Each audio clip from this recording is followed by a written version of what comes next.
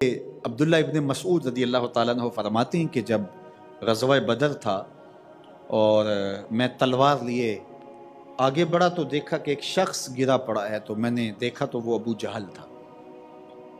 तो मैंने इसकी गर्दन काटना चाहिए।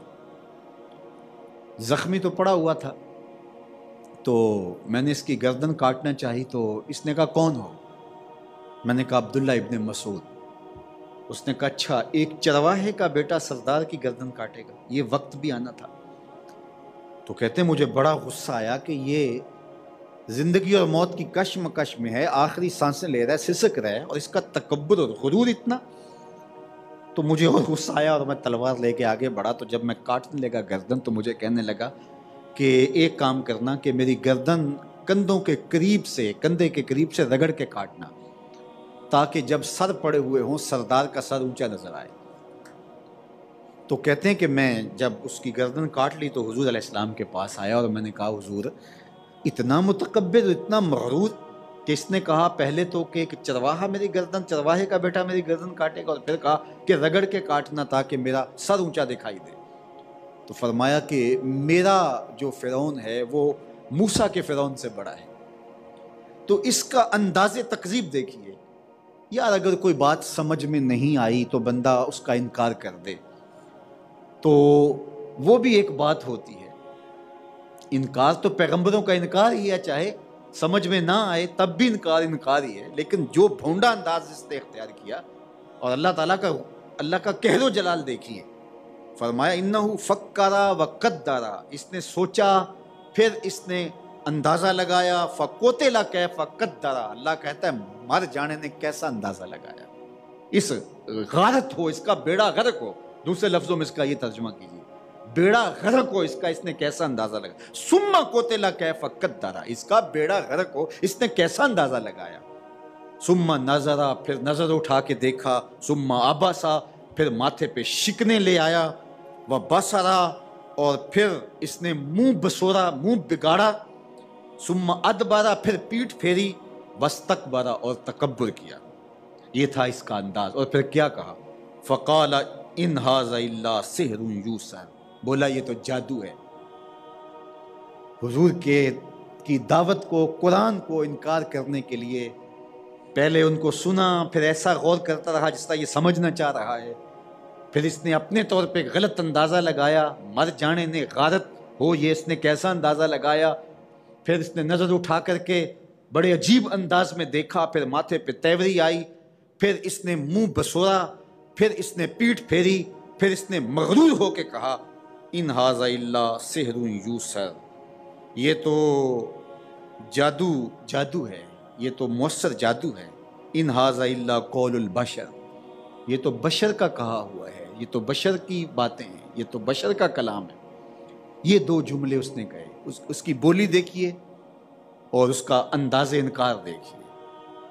अब अल्लाह ताला जल्ला शान ने जो इरशाद फरमाया जरा उसकी काट भी देखिए। सौस ली है सकत अल्लाह फरमाता अच्छा हाँ अन करीब तुझे भड़कती हुई आग में डालेंगे। सौस ली है सौस ली है अन करीब हम तुझे डालेंगे। सकल भड़कती हुई आग में। फिर रब का कहर देखी वमा अदरा का मा सकर। मुखातिब, तू जानता है कि वो सकर क्या है, वो आग क्या है? ला तुब की वला तजर। वो ऐसी आग है, ना मरने देगी, ना जीने देगी। ना तुझे बाकी रखेगी, ना तुझे छोड़ेगी। अल्लाह, सुम्मा ला यमू तो फीहा वला यहिया। सूरह अल आला के अंदर शाद फरमाया, उसमें बंदा ना मरेगा, ना जिएगा। मरेगा इसलिए नहीं कि मौत नहीं होगी, और जिएगा इसलिए नहीं कि वो जीना जीना होगा। वो इस आग से सत्तर गुना तेज है। और जहन्नुमी को अगर उस आग से निकाल करके इस दुनिया की आग में रख दिया जाए, ये जो लोहे वाली भट्टी होती है, उसमें अगर डाल दिया जाए तो उसको नींद आ जाए।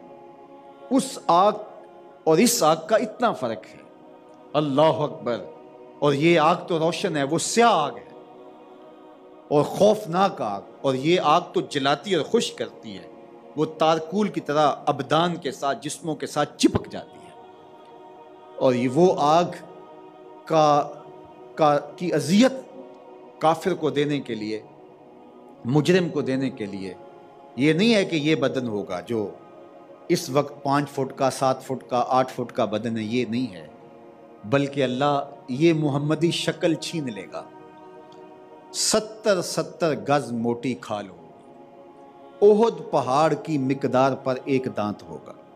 इतना जिसम बड़ा कर दिया जाएगा ताकि ज़्यादा से ज़्यादा अजाब की तकलीफ़ पहुँचे। ओहद पहाड़ पंद्रह किलोमीटर के एरिए पे फैला हुआ है। पंद्रह किलोमीटर एरिए पे फैला हुआ पहाड़, उसके बराबर एक दांत हुआ तो बत्तीस दांत बताओ कितने किलोमीटर बनते हैं? और फिर जिस मुँह में होंगे, वो मुँह और वो चेहरा कितना बड़ा होगा और वो जिस्म कितना बड़ा होगा? तो ऐसे अजाब में मुबतला किया जाएगा और खाल जलेगी फिर नई खाल दे दी जाए। कुरान कहता हम दोबारा खाल बदल देंगे। खाल जल जाए तो फिर तकलीफ़ ख़त्म हो जाती है। दोबारा तकलीफ़ देने के लिए खाल दोबारा उगाएगी और फिर वो आग उस आ, उस खाल को जलाएगी। तो वो कितना दर्दनाक लम्हा होगा। तो अल्लाह फरमाया कि ये जिस तरह इसने इनकार किया सौसली है सकर हम इसको आग में जलाएँगे। वमा अदरा का मा सकर। और तुम क्या जानो कि वो आग क्या है?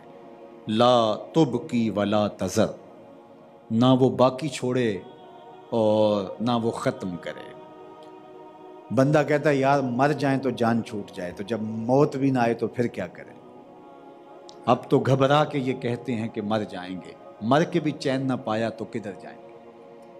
वो कितना मुश्किल और औखा वेला होगा। मौत भी नहीं आएगी। हदीस पाक में आता है, जन्नती जब जन्नत में चले जाएँगे और जहन्नुमी जहन्नुम में चले जाएँगे। तो अल्लाह जल्ला शाह मौत को मेंढे की शक्ल में हशर के मैदान में लाएगा। जन्नतियों के दिल में एक ही खदशा होगा, खटका होगा, कहीं मौत ना आ जाए। और जन जहनमियों के दिल में एक ही महूम सी उम्मीद होगी, कहीं मौत आ जाए तो जान छूटे, मर जाए तो जान छूटे। जब तकलीफ़ें बढ़ जाती हैं तो लोग खुदकुशी कर लेते हैं। कहते हैं, चलो, मुसीबत से जान छुड़ा लें। ये नहीं जानते होते कि फिर वो मुसीबत तो मुसलसल फिर साथ जुड़ गई। जो बंदा खुदकुशी करता है तो जिस सूरत में खुदकुशी करता है, क़यामत तक उसको लम्हा लम्हा वही अजाब दिया जाता है। तो अब वो कहेंगे, मर जाए और जान छूट जाए। फिर मेंढे की शक्ल में मौत को लाया जाएगा और ज़बा किया जाएगा। जन्नती जन्नत से, जहन्नुमी जहन्नुम से इस मंज़र को देख रहे होंगे। और जब जहन्नुमियों के सीने से मोहीम, मोहूम सी उम्मीद का वो चिराग भी बुझ जाएगा। अब तो कहते हैं शायद कभी मौत आ जाए, लेकिन जब मौत को अपनी आँखों के सामने मरता देखेंगे तो फिर इतने दुख में मुबतला होंगे कि हदीस पाक में आता है, अगर मौत को मौत ना आई होती, ये सदमे से मर जाते। और जहन्नुमी इतने खुश होंगे, अगर मौत को मौत ना आई होती तो ये खुशी से मर जाते। तो फिर मौत भी नहीं है। मरेंगे इसलिए नहीं कि मौत नहीं है। और जिएँगे इसलिए नहीं कि वो जीना है कि ऊपर भी आग, नीचे भी आग, दाएँ भी आग, बाएँ भी आग, आगे भी आग, पीछे भी आग।